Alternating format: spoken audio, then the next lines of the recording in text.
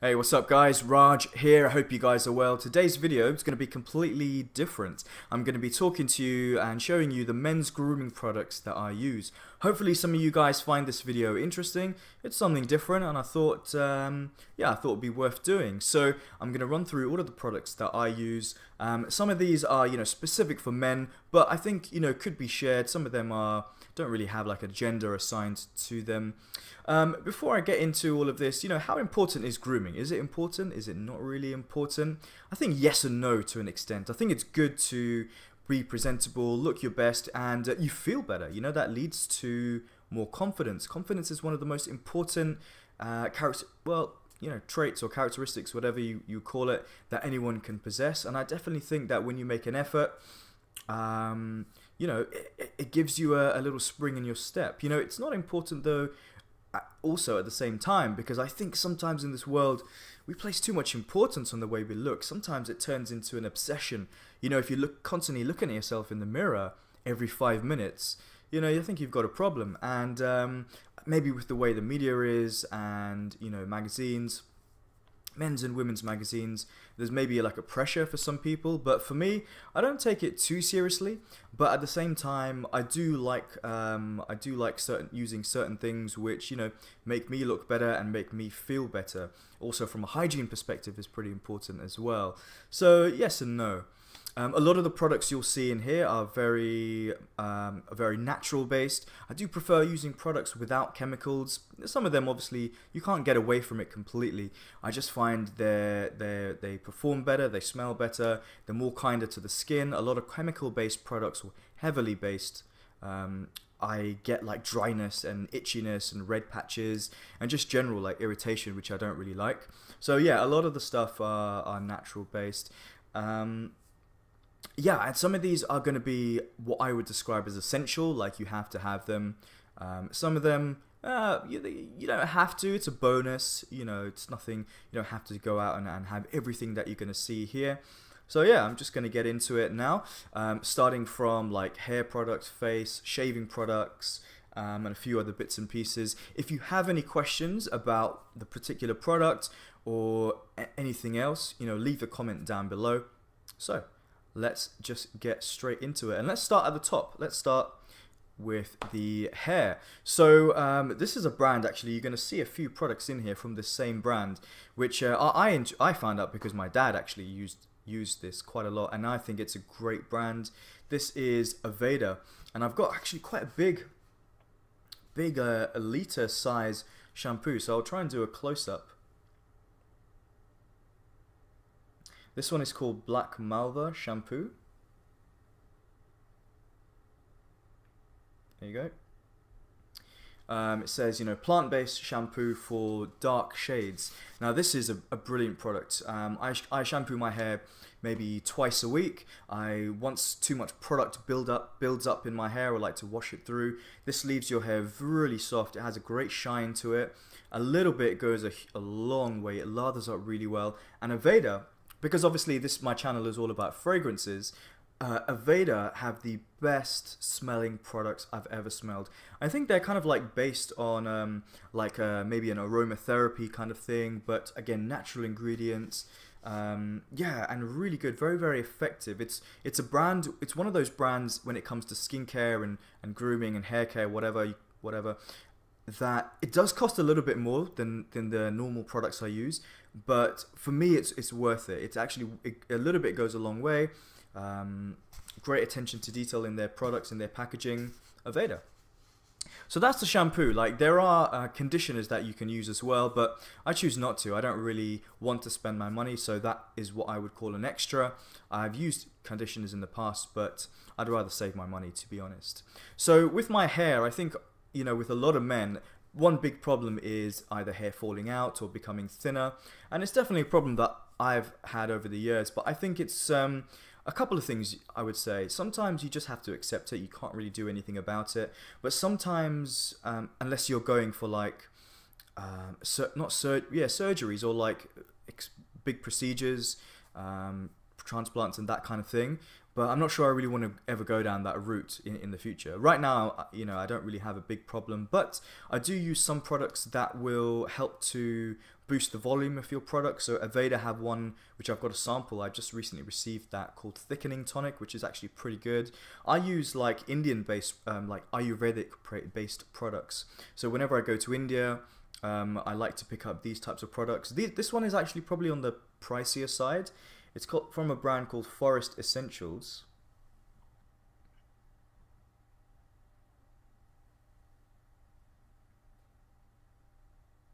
Yeah, and it's basically a um, Ayurveda is basically you don't know. It's a very old, thousands of years old, uh, ancient um, Indian kind of philosophy. Actually, it's about your way of life um, in terms of your diet, exercise, uh, products that you use to help um, alleviate certain skin problems or you know certain issues you have. And this is great. Very very natural uh, very dense. I find a lot of these Ayurvedic hair oils can smell quite bad. This forest essential ones is pretty good and actually has really stopped um, my hair sort of falling out. I didn't have a big problem but you know sometimes you wake up in the morning um, and there's like hairs on your pillow or you're, you're shampooing your hair or, or you know running your hair through your hands and hair falls out. Since I've started using this you know I haven't really had a problem. You can use other stuff in your in your hair as well, like coconut oil or different oils. Um, this one is one of those you work into your really massage it in. You can leave it overnight, or you can then shampoo it out. Okay, so that's the hair. What about uh, grooming? So uh, sort of. Uh, um, off your hair, so like styling products. So again, I've gone with Aveda. They have a, a men's line. So this is called Aveda Men. Pureformance Grooming Clay. So you can probably just make it out. Um, this one, uh, with with Aveda's men's styling products, they are probably the most I've spent on a on a styling product. I not I'm not 100% convinced that they're worth it, but I do prefer a styling product which is more natural based. It allows your hair to breathe a little bit more. Um, it gives a really good natural shine to your hair as well and this is more on the thicker side. It's more on the thicker side. It is almost like a, a slick paste which you really work into your hands and then massage into your skin. Again, amazing aroma. Really on the spicy side. Aveda actually do have a uh, fragrance which I used to have. I, I think I reviewed that fragrance as well. So good product, like works really well. Again, a little bit goes a long way. A little bit too pricey for my liking, but you know I went with it. All right. So, um, moving on now to the face. Now, I have actually, not boasting or anything, but I have received a few comments from people over the years about they do they they've noticed like my face has some sort of it's um, quite clean looking or like a, a nice shine or whatever. And uh, you know, one thing I think with with skincare, one of the most important things is actually, I would say it's half and half. It's half your products that you use um, or shall let, let's let's call let's say one third is the products, one third is your food and your drink, um, meaning like water, or are you drinking too much coffee? Are you drinking too much alcohol? And I think the the final third is sleep. You know, I try to get everything in balance. Not always. You know, you don't have to have a perfect life. You know, excess is fine. I think sometimes. But get a good night's sleep, guys. Drink enough water, and that really makes a difference. But I think products also help. Um, so one I've picked up actually this and another one you'll see later, again from Aveda. Um, this is a, a purifying gel cleanser. So it's basically a face wash.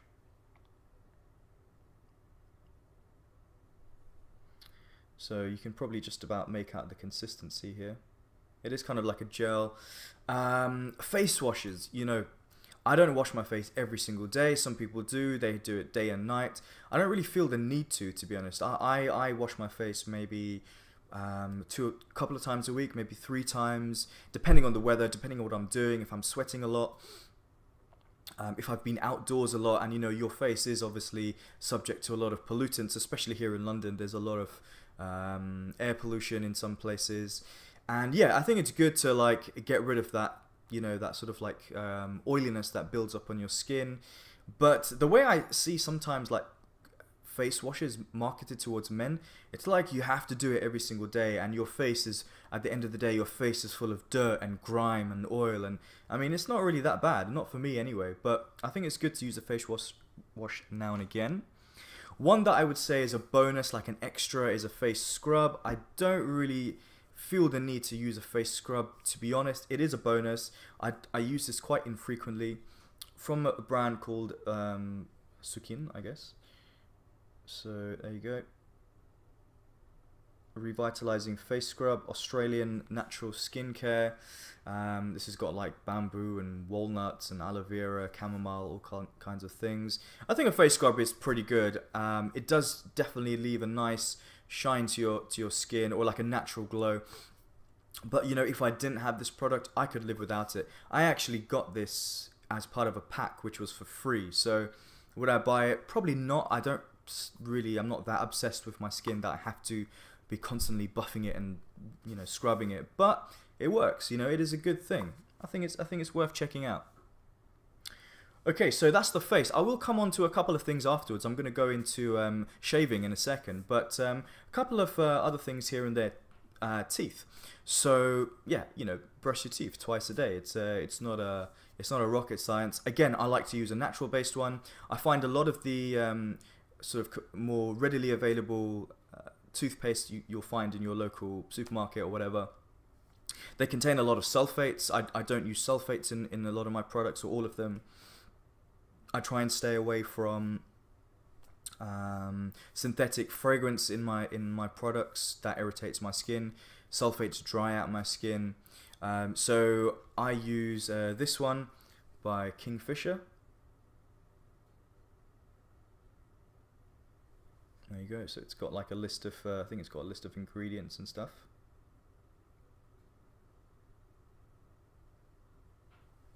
If you guys know the drink Sambuca, it kind of tastes like that. Now I actually really like Sambuca. A lot of people like hate it. It's like a love or hate thing.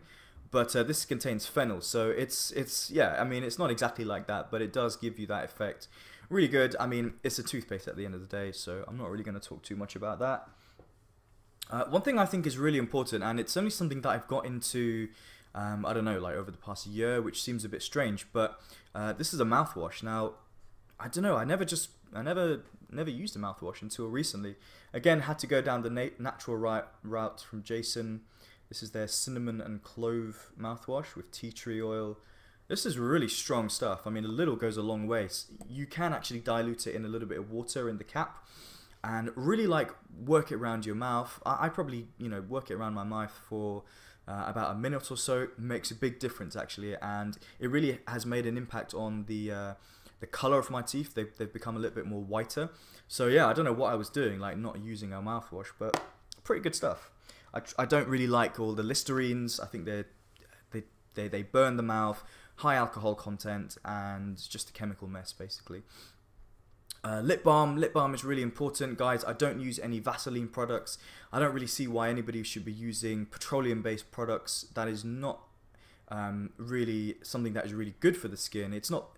I don't know if it's considered bad, but it, it's not very effective. So I prefer using. I mean, this brand has got a bit of a weird name. It's called Crazy Rumors. And it's a lemonade lip balm. Bit bit weird, I know. I'm using a lemonade lip balm, I know, but it is really effective. You could use something like Burt's Bees, something which has high um, butters like shea butter, um, or maybe like uh, coconut oil based stuff.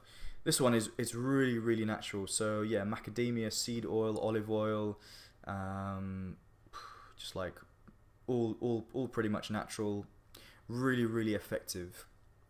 You just apply this once a day and makes a big impact. The lip balm for me is a big thing in the winter. Other times of the year I'm not too bothered, but I do use it every day. Really good. Um, and uh, what should we go on to? Okay, so shaving. Shaving. This is quite a big thing for a lot of men. And the way that I shave is a little bit different maybe to some other people. I prefer to use uh, the more traditional way, which is actually making a bit of a resurgence with, um, with a lot of people, and that is double-edged shaving um, with a shaving brush. It's the best way. I used to use Gillette Mach 3s. Um, I used to use uh, electric shaver. and then I actually thought, you know what, this is this is terrible. I'm not getting a great shave. It's not comfortable, and it's expensive. Um, not the electric shaver over time, but you don't get a close shave there. So I did a bit of research and took my time to learn a new way of shaving. And my God, this is this is like this is probably the best thing for your face, for your wallet. So let's start off with hardware. Now, when I say hardware, I'm talking about the tools that you use to shave, your razor. This is really important to get a good razor. So when I first um, got into this type of shaving, um, I was reading a lot about this one. This is from the, from Merkur, and this one is called the 34C. So Merkur 34C, and it's a very very it's got a bit of a weight to it. And it's a beautiful razor, nice weight to it, nice um, kind of grip here so you can really hold on to it.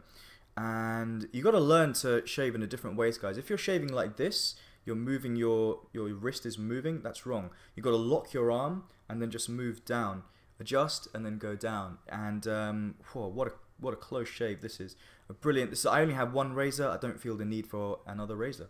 I did upgrade my brush a while ago. I went to uh, I went to a brand called Edwin Jagger, which is based here in the UK, based here in Sheffield, I think. And this is known as a Super Badger. A Super Badger basically just means it's a much higher grade of um, hair from the badger. I think I was thinking about this recently, and basically, badger hair is is like a by it's a byproduct of the meat market or industry in China. So I mean, I don't know what to think about that. I mean, there are different, there are natural, uh, sorry, there are um, synthetic alternatives, but you know this works really well. I just take my cream, which you're about to see in a second, put it in here after letting it soak, and just work it into the skin. It also acts as an exfoliant. It built, lifts up the hair and um, is a really great investment. These two things are really great investments. So what do I use to, oh yeah, and also the blade that I use is, you can see the blades here. So this is known as a Personna Platinum Chrome. And um, I'll take it out for you guys, just so just in case you don't know what a, so this one just twists off like that. You lift open the cap and the blade comes out. I'll try not to cut myself to pieces. But yeah, this is the blade. Pretty sharp. I mean, it's a pretty sharp blade, really. So, but there are much sharper ones out there. I like this one. I, I get a good comfortable shave. So the one that I use, I've used different creams, do use different soaps. Um, I've used the Edwin Jagger soap that's just coming to, a, to an end. But I bought this one recently because I wanted something new and I wanted to go back to a cream that I really love. This is from the brand DR Harris, British brand based out of London and this is known as Arlington, their shaving cream. This is probably the best smelling product I've used when it comes to shaving products. And I did actually do a review on uh, the cologne of this version a long time ago. It's an amazing uplifting smell, full of like neroli and orange. There's some like greenness in there as well, maybe rosemary or fern or something like that can't remember but yeah really good cream a little bit goes a long way and it's it's a wonderful experience in the morning just inhaling this amazing aroma getting a really close shave and it's pretty good. Now and again you know nobody's going to be perfect. You are going to cut yourself. Maybe you're using a dull blade. Maybe you've been a little bit too aggressive and you've got a little nick little cut. This is like a lifesaver. This is forget about you know toilet paper and putting it here and there and you, you'll end up looking pretty foolish but this is what you need. This is known as a styptic pencil made out of aluminium sulfate. So all you do is you just wet the end a little bit. So mine looks a bit weird but it's basically like that. And um, you just dab it on the place. It will sting uh, for a bit but it stops the bleeding straight away and is, is honestly this is perfect. I, I, I use that now and again cutting yourself it does happen. No matter how long you've been shaving for it can happen but very infrequently for me. So okay so going on to aftershave balm. Now there are different things you can use. You can use an alum block which is like a, an alum, aluminium or alu, alu, aluminium sulfate or some I can't remember the name of the ingredient. It's like a white block which you can just massage onto the face. I find that quite drying to my skin so I don't use that. You can use aftershave splashes or witch hazel. Um, you know, water, which is good. I think that's pretty good, but I've decided to cut that out of my my routine and just go straight to an aftershave balm. The two balms that I use, this one is again a fairly new product. It's it's more it's not really doesn't say aftershave on it, but again, part of Aveda's Botanical Kinetics line. This is just known as their hydrating lotion.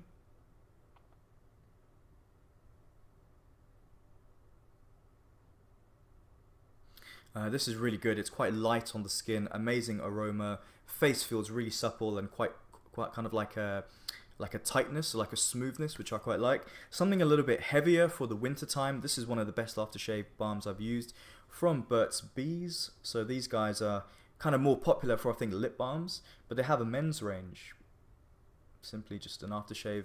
The thing with this, I think it's been discontinued because I don't see it on their website anymore. I can't find it in the stores where I used to buy it, and online it was running pretty low. So I stocked up on three of these. You know, I think it. Uh, I think it's really excellent. I think Weleda, if you guys know the brand Weleda, the natural brand, comes in a blue bottle. That's really good too. Also, another shout out to a brand called uh, Bulldog, based here in the UK. I think they might be stocked elsewhere. You can find them in, in most high street stores. That's a pretty good brand, very affordable. Um, not as effective as some of the other stuff I use, but I think worth checking out. So going on to uh, going on to the body now. So let's start off with shower gels. There's nothing really to talk about. I mean, a shower gel is, is just what exactly what it is. But um, I use uh, I, I like I like this brand a lot. This is called Avalon Organics, and I use their refreshing lemon uh, shower gel. Pretty good, very very natural. Uh, smells great. You know, sulfate free. Um, I think the vast majority of the ingredients are ingredient. Nice uplifting thing to start the day with. Now and again, you know, again, it's a bonus, it's an extra. I don't have to do it. I don't really think it's that essential. Um, it's more like, you know, now and again, if you just feel like it, go with the body scrub. Again, I went with Sukin. You can see here, Australian Natural Skincare. And this is the Purifying Body Scrub. Sulfate and paraben free and again it just works well. It creates a nice smoothness on the body. Um, yeah you don't have to have it but now and again. Body lotion is pretty important to me. So again same brand. Uh, this is their hydrating body lotion. I think especially in where I live in London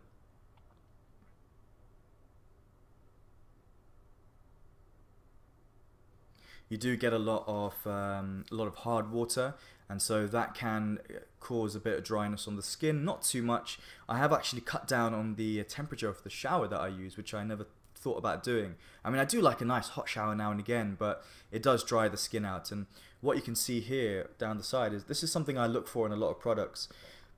Not necessarily what's in it but what's not in it.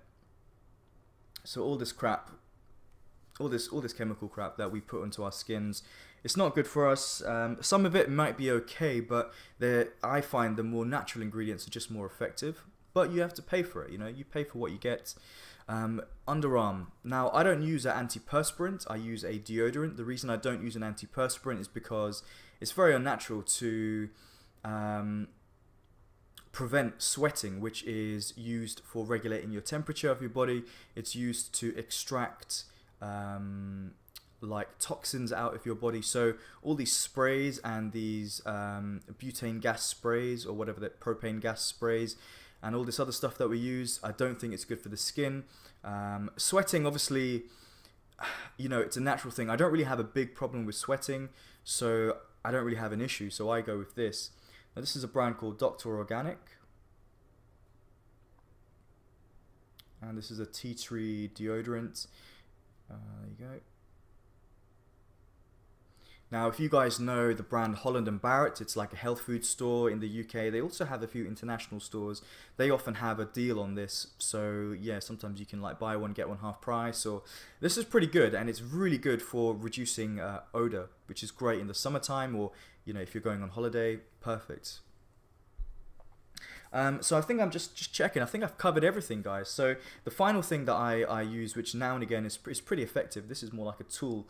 This is just like from Philips, and this is I use for hair that grows around around um, here, or you know just up here so I don't want to shave there I get very fine hair which I just trim um, I sometimes trim uh, nose hair as well so obviously make sure you keep this clean in between uses so yeah that's just something I like to use now and again and obviously guys you know um, Oh, one final thing. How could I forget? So you've, you've done all your grooming, you're looking great, you're looking you're feeling good, you're looking your best. One more thing that you need to apply to the skin. Can you guess what it is? You spray it on. The final thing you do before leaving the house, it's a fragrance. My scent of the day from the house of Cartier, and this is their new fragrance, L'Envol de Cartier, the eau de parfum. Comes like this. This is a beautiful fragrance. The first time I tried it in store, I really liked it.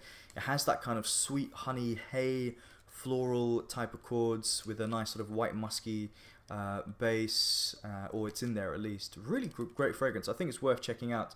Not sure it lasts a huge amount of time, but um, there you go. So guys, pretty long video. I don't really do videos this long, but um, I just something I wanted to share with you anything here that you're you are you're interested in, you've tried, or um, any questions you have, leave a comment down below. Let me know what are some of your products that you like to use, your favorites. What's your routine? Uh, is all of this grooming thing a big waste of money? Do we really need all of this stuff? Whatever your thoughts are, uh, let me know, guys. Don't forget to hit the like button if you like what you saw. Subscribe if you're interested, and um, I'll see you soon. Take care. Bye.